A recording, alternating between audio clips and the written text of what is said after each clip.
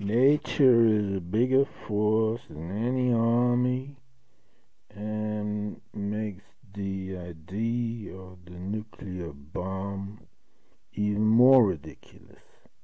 If you then agree on the natural frame, the son is that owl Strix nebulosa on the monkey pepper spray skunk.